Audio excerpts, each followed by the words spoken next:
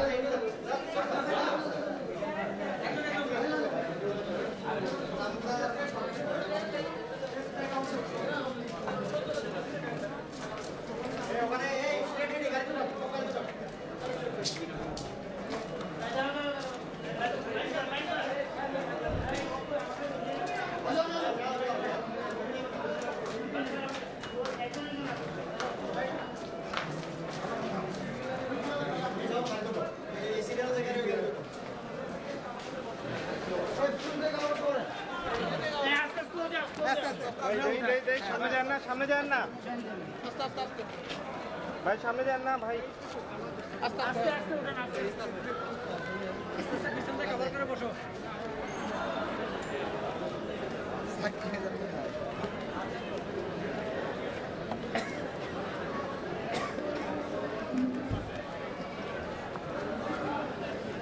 একদম পিছের দিকে অবাক পিছের দিকে এটা একদম পিছের দিকে কোনো ঠিক না মাপিয়ে থাকে আগে ধরবে না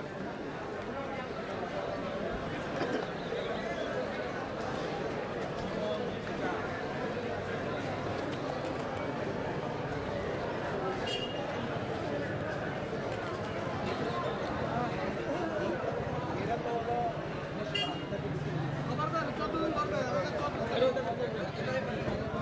ভাই ভাই ভাই ভাই ভাই স্ক্রিনে না ভাই ভাই স্ক্রিনে না সামনে নিয়ে কষ্ট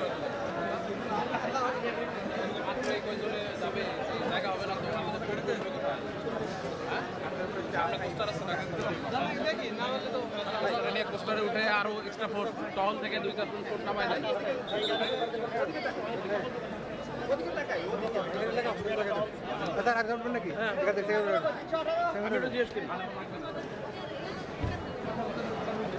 একটা বড় গাড়িতে উঠাবো না ওই সামনে বড় গাড়িতে উঠাবো। আমরা ওখানে যাই সামনে বড় গাড়িতে উঠাবো। আটকা দাও না আটকাও না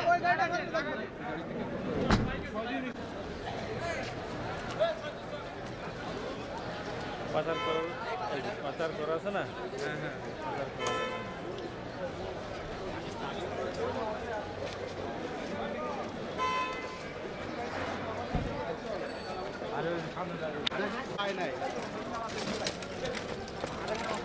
কাজু ভাই ভাই আমরা ছবি নিয়ে নিই।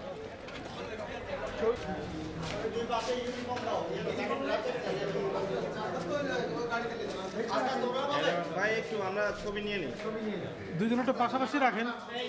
দুইজন একটু পাশাপাশি রাখেন। রাখেন একটু রাখেন। একটু থাকেন রাখেন। তোর নাই।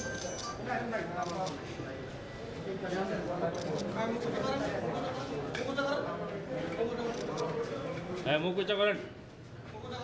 এইখান থেকে কেউ কোনো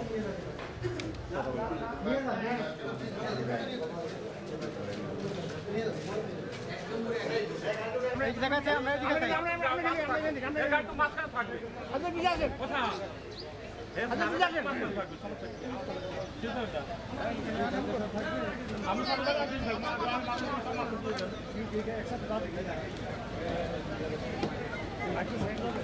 লোক দিতে হবে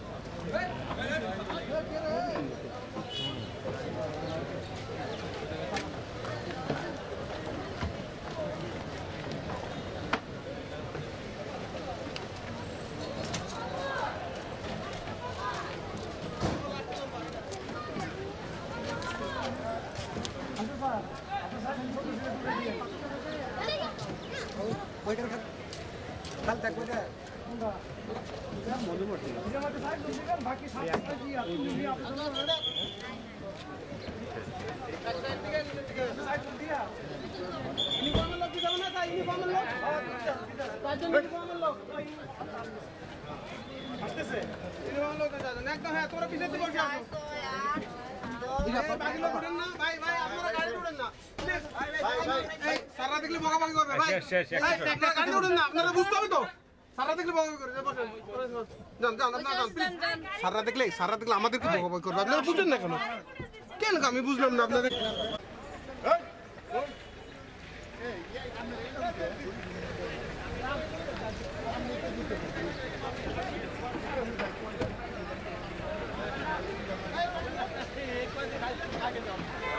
আপনি আর সত্য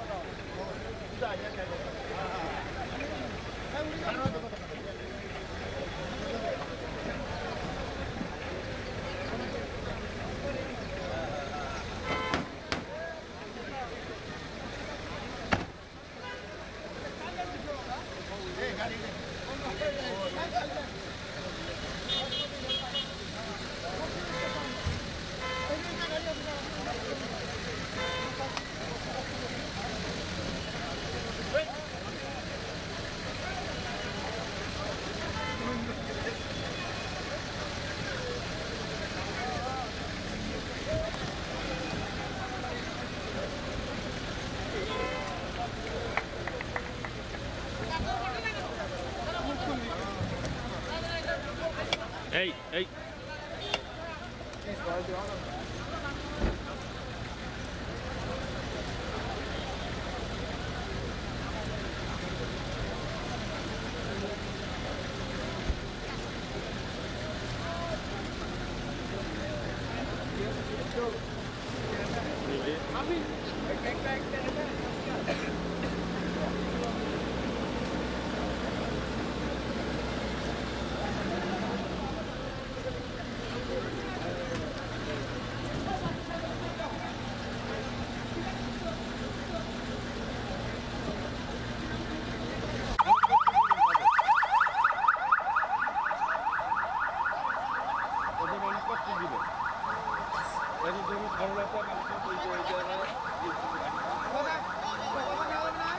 এই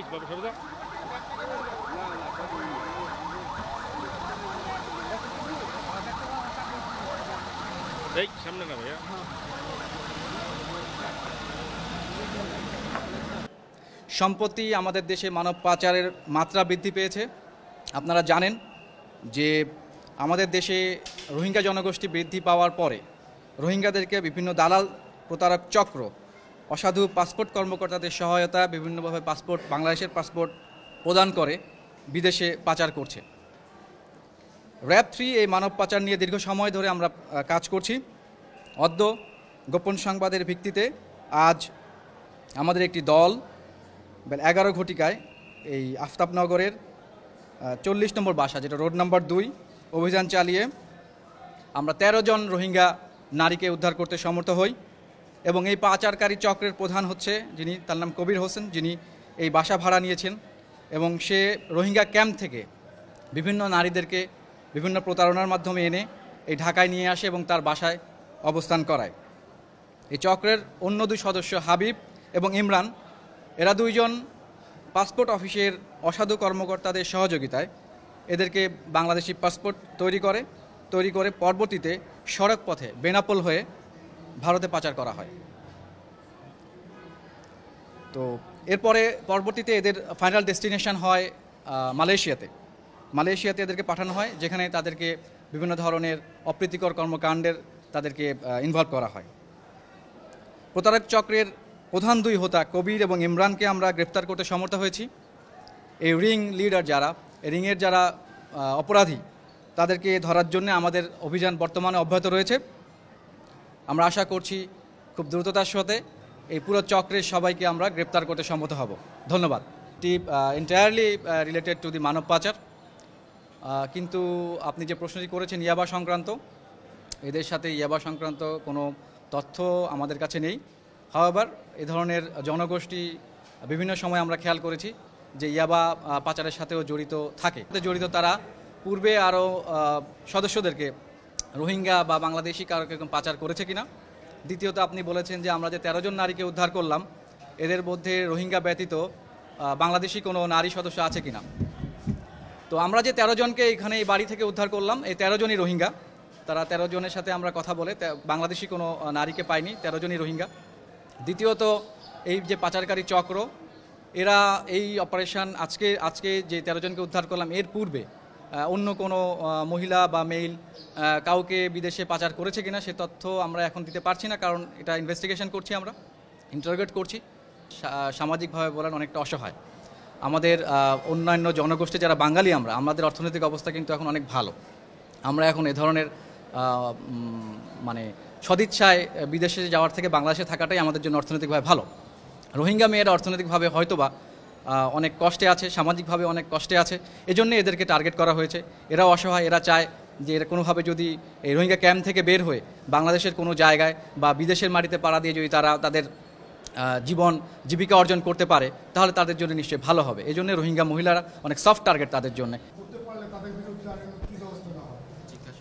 জিজ্ঞাসাবাদ অব্যাহত আছে, আমরা চেষ্টা করছি পাসপোর্ট অফিসে যে সমস্ত অসাধু কর্মকর্তা বা কর্মচারী এই চক্রের সাথে জড়িত তাদেরকে আমরা তাদের যদি আমরা নাম বা চক্রটিকে যদি আমরা বের করতে পারি ডেফিনেটলি তাদের বিরুদ্ধে সরকারি নিয়ম অনুযায়ী সরকারি নিয়ম অনুযায়ী যেটা করা উচিত নিশ- নিশ্চয়ই আইনানুগভাবে তাদের বিরুদ্ধে ব্যবস্থা নেওয়া হবে। ধন্যবাদ। আমি লেফটেন্যান্ট কর্নেল রকিব রকিবুল হাসান আমি পরিচালক র্যাব থ্রি।